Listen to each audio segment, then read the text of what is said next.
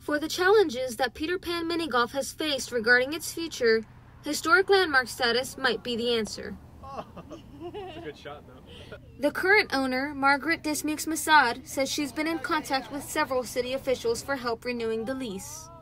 We have had some communication with the mayor of Austin, so we're hopeful going forward that, you know, the mayor will be able to throw his support behind it as well. The property that Peter Pan sits on was previously managed by the Texas Juvenile Justice Department, but is now being signed over to a new unknown trustee. Efforts to help preserve Peter Pan include a petition made by native Austinite Natalie Becker.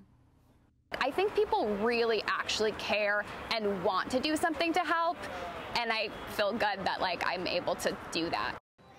The petition, with over 25,000 signatures, specifies that the City of Austin should declare Peter Pan a historic landmark, making it easier for the owners to renew their lease.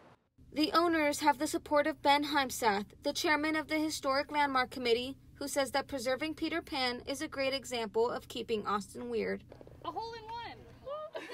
There really aren't any other examples that you could point to that's a whole lot like what Peter Pan Golf means to, to, to Austin and Austin's families. While there has been no communication with the new trustee, the owners are hopeful that historic landmark status will give them security. We're just really hoping that we can keep it not just for our family, but for the city of Austin. In Austin, Janelle Thanguma reporting Texas TV.